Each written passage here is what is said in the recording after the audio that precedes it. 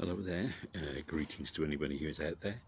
A uh, little reminder that we're part of uh, Greater Grace Church of Chester and Ellesmere uh, ggechurch.co.uk if you want to find out more daily devotionals and thoughts.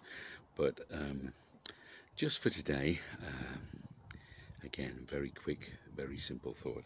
In Galatians 3:13 it says Christ hath redeemed us from the curse of the law, being made a curse for us, for it is written, Cursed is every one that hangeth on a tree.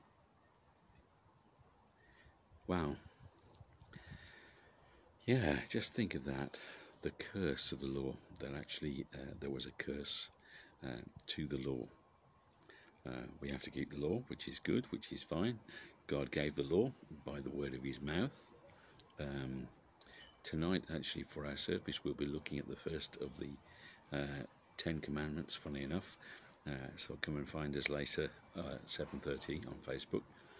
But um, just thinking about that, the curse of the law, death was the curse of the law that for, for anyone who broke the law, who was um, a failure, a sinner, every one of us, uh, death was the penalty from Adam's sin, and uh, that one of us,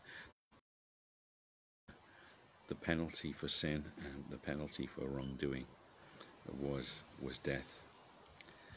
That was a curse. But actually, you know, it says that the Lord Jesus Christ bore that curse for us. He was made a curse for us. Curses everyone that, that hangs on a tree. That was part of the Old uh, Testament law as well. That if somebody was hanged, um, it was for certain crimes they were. Stoning was the usual thing uh, in the Jewish law, but certain things hanging was was also there, and it says there was a curse on anyone who was hanged on a tree. But the Lord Jesus Christ says, "You know what? I will hang on a tree. I will choose to do that. I will do it um, readily. I will do it voluntarily. Why? Because I love these people, and I wanted to bear the the sin for them. I want to pay the price for them. I want to uh, make everything good for them. I want to open up the way of heaven to them." And that's what he did. That's what the Lord Jesus Christ did for us.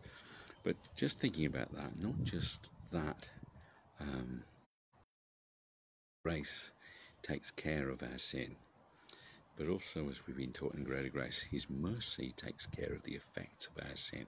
So, is the curses that go along with the, with breaking the law. Um, his mercy is able to help to my my failure. Maybe there's a consequence to my selfishness, uh, to my anger, to my lust, to my uh, disobedience, to my lying. But you know what? When we when we are saved, when we give our life to Christ, uh, yes, His grace takes care of our sin, but His mercy often effects of our sin. That is to say, we can pray, Lord, please resolve this situation. And God is merciful. The things that actually could come back to bite us. So often, the things that could be a major problem to us, God graciously deals with them and He takes care of the situation that goes way beyond just our sin itself, but even the effects of it and in our life. And He's gracious and He loves us. So trust Him forward and uh, keep loving life. Uh, take care and God bless and see you soon.